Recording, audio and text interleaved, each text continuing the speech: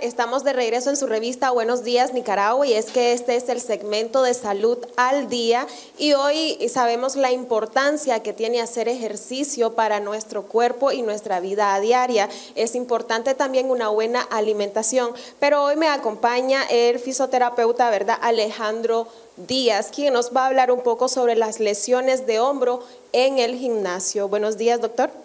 Mucho gusto, ¿verdad? Siempre es para mí un placer estar con ustedes, ¿verdad? Aquellas personas que nos ven en casa, en, en, su canal de YouTube.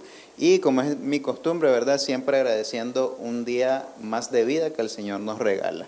Claro que sí. Hoy nos va a hablar sobre las lesiones en el hombro en el gimnasio. Sabemos que muchas personas levantamos peso y no sabemos qué cantidad de peso tenemos que levantar, cómo se tiene que comenzar o eh, qué nos puede perjudicar, ¿verdad? En este caso en nuestro hombro, que es el, uno de los principales eh, partes del cuerpo, la que usamos más. Pero cuéntenos un poco sobre las lesiones en el hombro eh, que generalmente ocurre en los gimnasios. Claro que sí, con mucho gusto. Bueno, eh, hay que hablar de cosas eh, básicas para poder entrar en esos detallitos. El hombro es una de las articulaciones, mejor dicho, la articulación más móvil del cuerpo, es decir, tiene 180 grados, si se fijan, hay bastante movilidad, cosa que no tenemos en la rodilla, cosa que no tenemos en la cadera. Entonces, esa movilidad nos permite a nosotros incurrir en malas prácticas, ¿verdad? Porque siento que me puedo ubicar de cierta manera, me duele un poco el hombro, pero el hombro es bastante flexible, entonces él me tolera hacer algunos movimientos que por descuido, por desconocimiento, tienden a provocarnos lesiones. Bueno, dentro de las más comunes, nosotros podemos tener lesiones de eh, los tendones, los frontales y los laterales. En este caso, el frontal el bíceps braquial. Vamos a mostrarlo acá sería básicamente, si fuera en mi hombro, yo me toco acá, y si en el modelo anatómico que tenemos acá, es en esta zona, en la cara frontal del brazo o, propiamente del hombro, y también tenemos este tendón lateral, que es el que nos permite abrir el brazo así lateralmente, y el tendón frontal es el que nos permite llevar eh, la mano y todo el brazo hacia adelante. Entonces, esos son los dos tendones que más se lesionan, y también hay una tercera lesión que es bastante fuerte, digámoslo así, cuando se provoca en el gimnasio, es porque estamos usando demasiado peso y estamos ubicándonos en una manera, una posición demasiado incómoda que sería la luxación. Cuando ya este huesito de acá se sale de su lugar, a esto le llamamos luxación. Y también popularmente pues se conoce como una zafadura, ¿verdad?, del hueso. Perfecto. Doctor, coméntenos un poco sobre cómo saber si tengo, eh, cómo saber si me lesioné. Si ando, ok, comienzo el gimnasio, levanto pesas, las pesas, digamos, eh, más pequeñas, por decirlo así, y de pronto amanezco al día siguiente ligada, pero siento que mi hombro me duele muchísimo. Entonces, ¿qué, eh, ¿cómo saber si tengo ya alguna fractura? ¿Cómo saber si me lo lesioné como tal? Correcto. Eh, difícilmente vamos a sufrir una fractura en el gimnasio a menos que suframos un trauma, una pesa, nos caiga ¿verdad? en el hombro, en el brazo. Difícilmente vamos a sufrir una fractura. Esto solo podría ser, digamos, posible si es una persona con una osteopenia, es decir, un debilitamiento de los huesos y que hizo un mal movimiento, ¿verdad? Evidentemente. Pero eh, las fracturas se dan con movimientos rápidos y en este caso en el gimnasio, ¿verdad? Estamos hablando del gimnasio o con un trauma directo, ¿verdad? Entonces, eh, fractura en principio no es lo que más vamos a esperar en un gimnasio, pero sí la inflamación de los tendones. Entonces, al día siguiente yo me puedo eh, sentir mal de mi hombro. Hay que ver si la movilidad, como bien mencionaba, está restringida, es decir, en vez de poder hacer esto, solo puedo subir hasta acá. O puedo subir hasta acá. Entonces, si yo eh, tengo una movilidad reducida, es probable que yo tenga una lesión en los tendones, ¿verdad? Y la articulación en conjunto. Pero también es importante saber diferenciar entre fatiga muscular y una lesión del tendón. Las dos cosas pueden parecer o sentirse igual los primeros días, es decir, los primeros 3, 5 o hasta 7 días, los dos pueden sentirse igual. Si esto pasa después de una semana, llega a los 21 días, es probable que sí sea una tendinitis, es decir, una lesión. Y si pasa después de los tres meses con el mismo dolor y ya no puede hacer los ejercicios, cosa que es bastante frecuente, eh, ya estamos hablando de una tendinitis crónica, ¿verdad? ¿Cómo saber eh, cómo, cuánto tarda en sanar, verdad, lo que es una lesión en el hombro como tal? Bueno, si la persona es consciente, le, da cuidado a, a, su hombro, ¿verdad? Si toma un reposo entre 7 días y 21 días, si hay un dolor de leve a moderado o de moderado a severo. Si es severo, realmente necesitaría pasar consulta inmediatamente para saber si hay una lesión grave. Pero si el dolor está entre leve y moderado, puede iniciar eh, algunos cuidados como descansar el, brazo, dejar de hacer el ejercicio que le causó el dolor o no hacer del todo el ejercicio que le causa el dolor en el gimnasio. Quizá otros no le causan el dolor, pero hay un ejercicio específico que sí activa el tendón que se lesionó. Entonces ese lo tenemos que pausar. Eh, si el dolor es leve, incluso podemos entrenar un poco con un peso bastante disminuido y con pocas repeticiones, ¿verdad? Entonces esos serían los cuidados y los tiempos que hay que considerar para tomar una decisión de buscar ayuda. Perfecto. Eh, yo veo que acá nos trajo, ¿verdad? Unas máquinas, unas pesas. Nos va a hacer una demostración. Así es, así es. Bueno, acá tenemos una banca eh, de ejercicios como las que tenemos en los gimnasios. Tenemos un par de pesas de 10 libras y un par de pesas de 5 libras. Vamos a hacer unas pequeñas demostraciones. Lógicamente en el gimnasio hay personas que levantan 60 libras, 65 libras, levantan la barra, ¿verdad? más varios discos. Entonces, eso vamos a hablar de cosas bastante sencillas para evitar lesiones, sobre todo a nivel del hombro, a nivel de los tendones que acabo de mencionar y a nivel de algo que se llama el espacio subacromial, que es en un huesito acá en el hombro, tal vez nos pueden mostrar eh, acá en cámara. En esta zona de acá es muy importante que nosotros consideremos que esta, esta área, voy a mostrarlo de espalda, digamos, en el hombro. Esta área de acá se llama espacio subacromial. Ese espacio sufre cuando nosotros abrimos demasiado el brazo, demasiado lateral y también pues cuando lo subimos demasiado pero con peso. Entonces ahí son los cuidados que nosotros debemos de tener. Entonces vamos a iniciar acá con la demostración.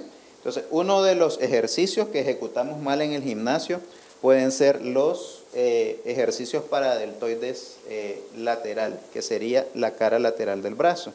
Entonces muchas personas yo he visto que cargan bastante peso, cargan 20, 30 libras. Bueno, esto lo estoy hablando ya un poquito exagerado, ¿verdad? Hay ejercicios que no necesitan mucho peso, entonces el ejercicio de fortalecimiento del deltoides no necesita tanto peso. Con 5 libras, 10 libras, máximo 15 libras, en dependencia de la fuerza de cada quien, podemos trabajar perfectamente eh, y lograr una fatiga muscular a nivel del hombro. Entonces, nos ubicamos de lado para que las personas puedan ver en casa y el brazo siempre debe estar por delante y hacemos una apertura, ¿verdad? ¿Cuál es el error acá? Que yo puedo ponerme recto y abro así recto. Entonces, ¿qué pasa? En la parte donde yo mostré ahí en el modelo anatómico, yo hago una compresión Hago una compresión de los tendones, los presiono, los hago rozar con el hueso y entonces los inflamo. En cambio, si yo me ubico en una posición más anatómica en dirección a la escápula, entonces yo estoy evitando ese pinzamiento que le llamamos nosotros, que los tendones se pincen, ¿verdad? Entonces también eh, con una pesa de 10 libras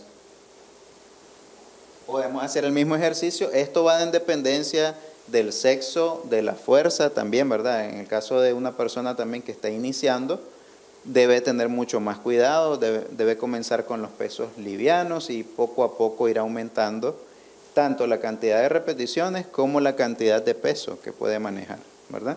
Entonces también este, antes de, continuar, pues siempre agradeciendo a nuestros amigos del gimnasio Factor Fit que nos facilitaron esta banca para darles la demostración. Vamos ahora a mostrarles lo que es el entrenamiento de pecho, que es una de las, uno de los ejercicios donde más nos podemos lesionar. Vamos a apartar esto de acá. Allá en casa para que vean, ¿verdad?, cómo es la manera de que tenemos que hacer ejercicios para evitar lo que son lesiones en el hombro como tal. Ahorita eh, el doctor nos va a mostrar, esto lo podemos hacer en casa de igual manera, sí, en caso que no quieran acudir también a lo que es un gimnasio. Correcto. Acá no tenemos problemas si nosotros pegamos los codos al cuerpo, pero mientras más abrimos los codos, más comprimimos esa zona lateral del hombro que estaba explicando y también hay que tener cuidado de cuánto nosotros podemos bajar el codo. Si bajamos demasiado, estamos estirando mucho el músculo del bíceps, en este caso voy a tocar acá, este sería el tendón que podemos lastimar, ¿verdad? Entonces, no hay que bajar tanto al inicio a menos que el hombro sea bastante flexible, ¿verdad? Y una cosa bastante importante, no hay que abrir demasiado. He visto personas que abren demasiado los brazos, ¿verdad?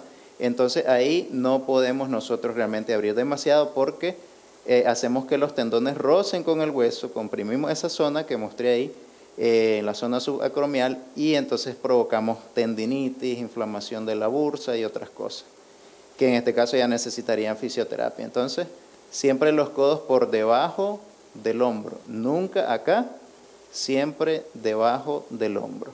Bajamos lo que el hombro nos permita y subimos, ¿verdad? Entonces, esa sería otra de las recomendaciones, tanto en banca plana como en banca inclinada, es decir, un poquito más arriba, o la banca declinada, que sería esta parte superior un poquito hacia abajo. ¿ok? Entonces, este, voy a mostrar también unas rotaciones. Voy a utilizar la otra pesa. Bueno, con esta pesa para que podamos ver ahí en casa. Una de las cosas también importantes es la rotación del hombro. Los músculos rotadores, esto le llamamos manguito rotador, muchas personas en casa que nos están viendo han sufrido en algún momento eh, algo que les dice el médico, usted tiene una tendinitis del manguito rotador.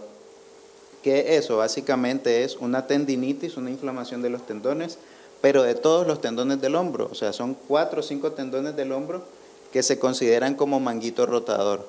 Y esos son los tendones que se pueden lesionar incluso en el gimnasio si no los preparamos para los ejercicios más fuertes. Entonces, la rotación la haríamos de la siguiente manera.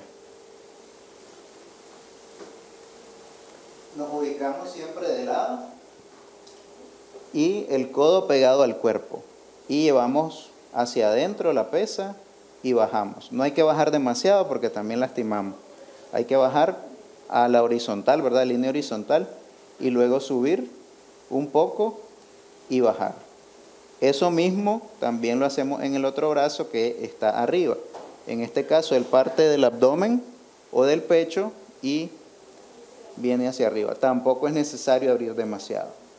Con ese movimiento y con pesos livianos, nosotros estaríamos en este caso fortaleciendo el manguito rotador. Perfecto. ¿Ok? Claro que sí, permítame. Muy bien, ahí miraban las recomendaciones del doctor. Ahora nos va a ver, a decir también dónde lo podemos localizar en caso que queramos tener una consulta con usted. Claro que sí. Bueno, eh, Clínica Sanarte, estamos ubicados en Monseñor Lescano, de donde fue el Cine León, dos cuadras al lago, media cuadra abajo. Nos pueden llamar al 87 87 11 32 y al 2264 2222. Recuerden que siempre ante una lesión, lo primero es una valoración, ¿verdad? Estas recomendaciones no las estoy dando para que nos autodiagnostiquemos en casa, ni tampoco que nos tratemos, ¿verdad? Sino para que prevengamos lesiones. Si ya tenemos una lesión, lo número uno que tenemos que hacer es buscar ayuda y pasar una evaluación eh, fisioterapéutica. Nuevamente agradezco a nuestros amigos también de Factor Fit, eh, del gimnasio Factor Fit, ubicado en Altagracia. Eh, de la Racachaca, dos y media al, al sur y media hacia abajo. Entonces también agradeciéndole a ellos por su apoyo. Muchísimas gracias, doctor, por traernos este tema bastante importante. Ya saben las recomendaciones que el doctor dijo para que evitemos lo que es eh, daños en nuestro hombro. Nosotros vamos a una pausa comercial y regresamos con más.